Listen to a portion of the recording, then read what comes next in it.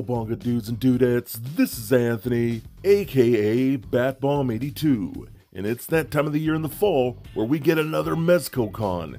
Now, this is one of my favorite things to look forward to every year, as I'm always stoked to see what Mezco is going to give us, all the reveals and all the cool things we're going to get. I'm always just so happy about this. So let's run down all the cool things that we saw. So the first thing that we got was on Friday the 1st of October. This was an exclusive Captain Nemo that went up for pre-order and man, I had to pick this guy up. Look at the sculpting on this, all the aquatic detailing type of things with the interchangeable arm for a spear, uh, his awesome sword, the hair, the beard, Everything about this just looks awesome. Now, if you look in this photo right here, he does have some type of manta ray uh, hoverboard. So I'm kind of hoping we get that and somewhere down the road. Uh, but what also got me interested is this picture with four crew members, which really gets me to think we are definitely going to get some crew members in some type of box set down the road, which I'm all about.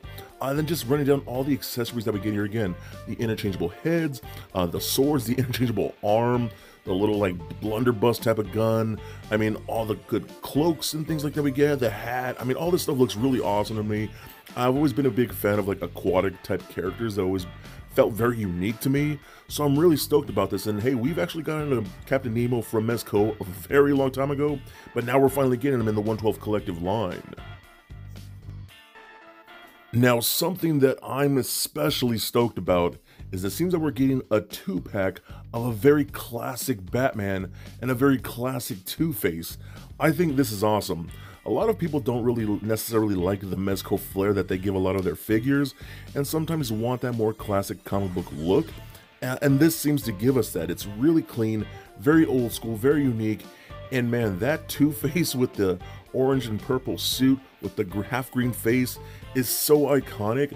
I'm so freaking happy about this. It's a perfect type of two pack. You know, since we've already gotten a Batman and a Two Face before, uh, it's nothing crazy, crazy unique as far as character selection goes.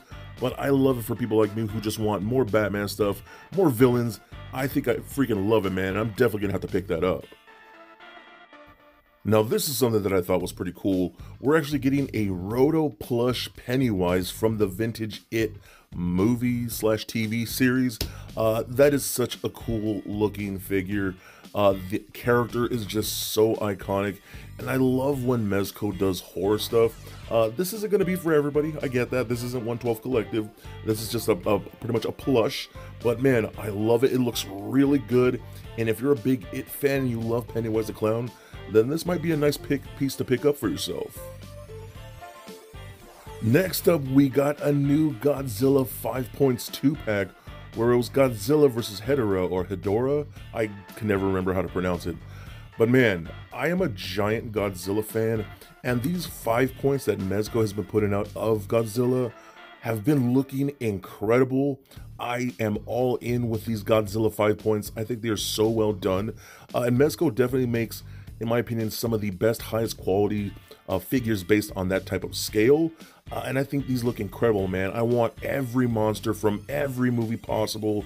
I will buy every last one of them. I think they look great.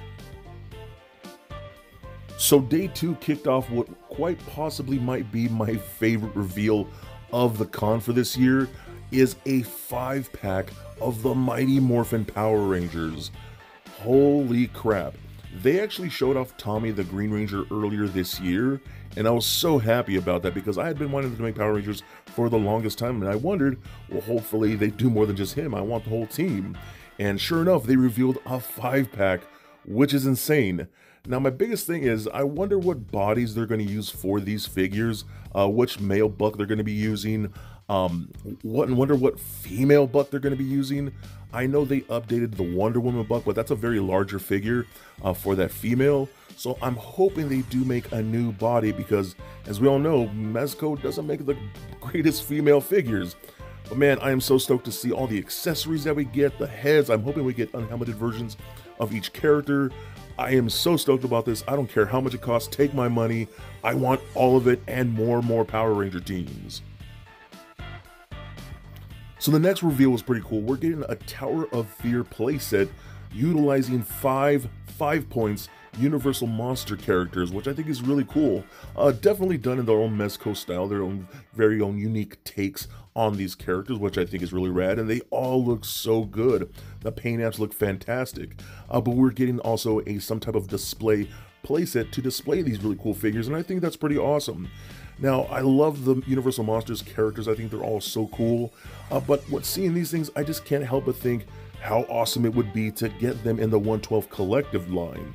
You know, we've gotten Frankenstein's monster before, uh, we even got a Nosferatu, but I want more of these characters in that line because I think be, they'd be so cool, and I know a lot of us would just eat them all up. They're fan favorites, and they are must gets for this series. So, Mezco, if you hear this, please give us those in the 112 collective line. So, the last reveal of the con was that we are finally, after so many years of us wanting this figure, we're getting a Doctor Doom in the 112 collective line. And man, he looks freaking impressive. The soft goods look so good. The sculpt and the paint look amazing. I cannot wait for this. Uh, earlier this year, they solicited the Fantastic Four pack, um, which a lot of us are so happy about, and they semi teased Doctor Doom. Uh, now we're just getting a full on reveal of it. This looks so good. Again, this is one of those villains and one of those characters that a lot of us have been wanting in this line since the very early days of the 112 Collective. And it looks like we're finally getting it, and it looks like they killed it. So I'm just really curious to, as to what body he's going to be able to use, how much range and articulation with all that type of armor and stuff. We'll see how that goes, but man, there's no denying that he looks awesome, impressive, and every last one of us is going to need this figure in our collections. So there it is, guys, my full recap of the Mezco Con for fall 2021.